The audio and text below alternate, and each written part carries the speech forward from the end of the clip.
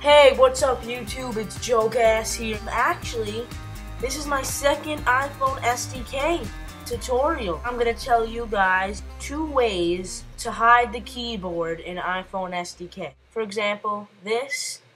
Alright, here I can highlight everything I want to do, delete it, whatever.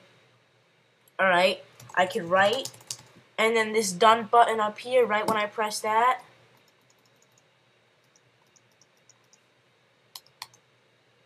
done button, right when I press the done button, the keyboard hides. Sorry, it just lagged a little bit there. And then another one, done key. Um, okay. I'm right here. Uh, there's a little text box. I could just write whatever. And then there's a done button down there. When I press that, it hides as well and Xcode file new project and the first one I'm going to be showing you is actually programming a done button on the keyboard. I'm going to name this done key. Alright. Save and I'm making a view based application. Go to my nib files done key view controller.xib and I'm just going to drag in a text field and maybe try to get that centered up a bit. Like that. Alright, File, Save, and then Quit Interface Builder. Now we're going to want to go into our classes, View Control, View Controller.h, and what you're going to want to do is copy this code in. Um, right after right after this curly brackets, press enter two times, and what you're going to want to do is dash, open parentheses, IB action, close parentheses, space, end with no capital, and then text with a capital T, semicolon. Go into our dot M, and then, uh, let's see if I could find it. Right after did receive memory warning, right after that bracket, press enter um, two times, dash, open parentheses, IB, action, close parentheses, space, and text, space, open curly bracket, enter, close curly bracket. It's that simple, guys. Now, what you're going to want to do is go up to here, build, and then just click build, save all. And then go into our nib files, and then open up the done key view controller.xib once more. And if we highlight here, we'll get all these different events. And there's going to be a did end on exit. What you're going to have to do is drag that to the file's owner. And then it should say end text. Just click that. File. Oh, and one more thing.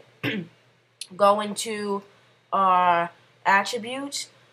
And on the text input traits, right here it says the return key. We want to change that to done so it actually has the look of the done key unless you want to keep the return key and then when you press return it hides the keyboard but done looks more nice because it actually says what it's going to do. So change that and then file, save, quit interface builder, build and go. And look at our app. I can type in whatever I want. We have done key right here. Press that. Easily hidden. Alright. okay. Very easy. Now, for the one that's going to take a little bit more time, what I'm going to do is delete the one I just made. Go into Xcode, File, New Project, make another view base. I'm going to do this name done, done button. Alright, say that to my desktop as well. Alright. Now I want to go nib files, done button, view controller, and do this. I'm going to want to, I like to change this to a white, drag in a text field, text view, I meant to say, and I'll just change this to text with three dots, and then maybe go into a Windows and bars, add a navigation bar, and then add a bar button. And Now what we could do is we can name this hide keyboard right there or we could do something else. Let me add the bar button, go into our identifier and change that to done as well. Now this, trust me guys, this isn't doing any coding. This is just changing the look of it to look like what it actually does, okay? So you don't have to do this or you don't have to change the return key to look like the done button.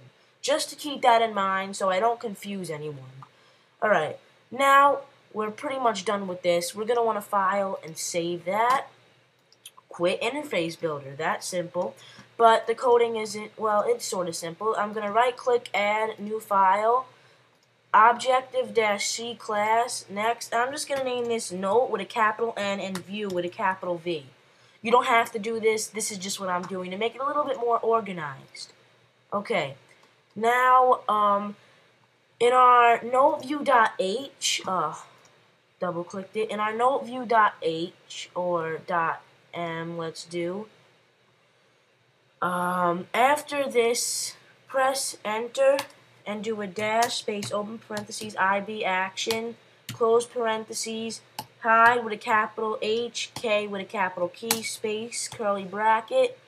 Um, and you're gonna want to enter twice and then do a open normal bracket. I don't know what the name of that one is. My capital T for text and then space resign um, resign, first responder, closed bracket, and then um, and then a um, semicolon, enter twice, and then close curly bracket, and then just backspace on that. Then go to the noteview.h, and then you will have this right here, NS object, all that, just delete that. And right here, you're going to want to put UI text, text view, space, oh, text view, space, open curly bracket, enter IB outlet, um, and just go on there and press tab IB outlet space UI text view uh, view space star my text with the capital T again. Um, you know your your curly per, um, I'm getting mixed up with all these words. Um, for semicolon that's what it is. Enter uh, close curly, and then enter again, dash, space, open parentheses, IB action, close parentheses, hide with a capital H and K with a capital K, semicolon, and that's it. And then just enter at end.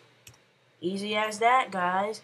Now, we just have to build right here, save all, and then go into our nib files again, done view controller .xib, and you'll have this.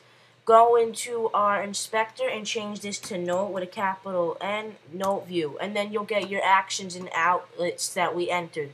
Note view, note with a capital N, view with a capital V, and then on the my text, simply drag my text to the text view, and drag the hide K to the done button. File, save, quit, interf uh, quit interface builder, build and go.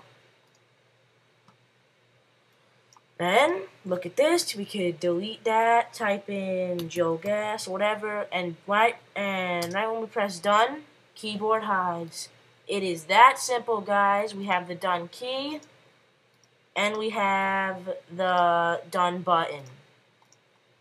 So there's a way to program uh, to hide two different ways to hide your keyboard in Xcode.